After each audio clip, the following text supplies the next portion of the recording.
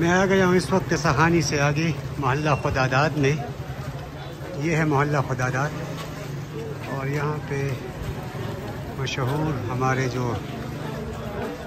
Indian film industry के बादशाह थे पुराने, जो अभी वफात पा गए हैं, दिलीप कुमार। उसका घर है, वो मैं आपको दिखाना चाहता हूँ। इसी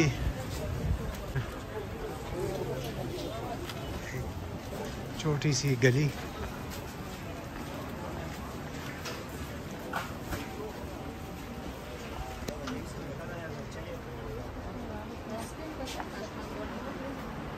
ये देखें one of the legend Dilip Kumar का घर पेशावर में,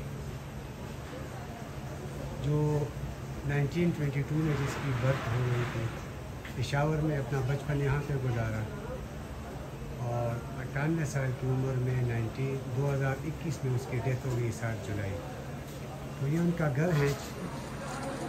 दिलीप कुमार का। शाहरुख खान के घर से तकरीबन दो तीन सौ मीटर आगे किस्सा खानी में। और वो 1988 में यहाँ पे आए थे दिलीप कुमार। इस ज़मीन को उसने चूमा था और उसने कहा था कि मेरी बहुत सी हसीन यादें इससे वाबस्ता है। आपको अंदर से भी ये घर दिखाते हैं, लेकिन ये एक छोटे से मोहल्ले में है। मोहल्ला खुदादार पेशावर किस्सा खानी बाज़ार में। इस सीढ़ियों पे चढ़ के आपको नीचे से दिखाते हैं, क्योंकि यहाँ पे तो ये बंद है। हुकूमत ने यहाँ पे पाबंदी लगाई है और इसको अपने तहवील में लिया हुआ है। लेकिन इस पे चढ़ के आपको हम लेजेंडरी दिलीप कुमार का घर दिखाते हैं। मोहल्ला खुदादात के सखानी बाज़ार। ये देखें, ये है उसका घर। पेशावर के अंदर किस्सा खानी बाज़ार में हालत देखें इस घर की किस हालत में है, जिसमें इंडिया का आइकन, इंडियन फ़िल्म इंडस्ट्री का आइकन, बहुत बड़ा नाम दिलीप कुमार जिसकी पैदाइश हुई और जहाँ पे वो रहे अपना बचपन गुजारा। ये वो जगह है ये उसका मेन एंट्रेंस है उसके घर का। दरवाज़ा जो नीचे से मैंने आपको दिखाया। और ये उसकी हालत है, उसके घर की।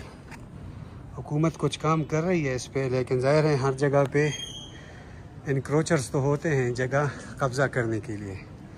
तो अब हुकूमत ने उसको अपनी तहवील में लिया हुआ है और उसको एक वर्सा डिक्लेयर किया है।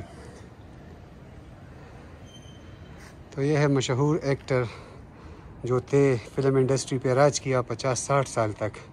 दिलीप कुमार, उसका घर जिसका अपना नाम था यूसुफ खान, और वो पेशावर से माइग्रेट होके चले गए थे इंडिया ये देखे, ये कमरे हैं इसके।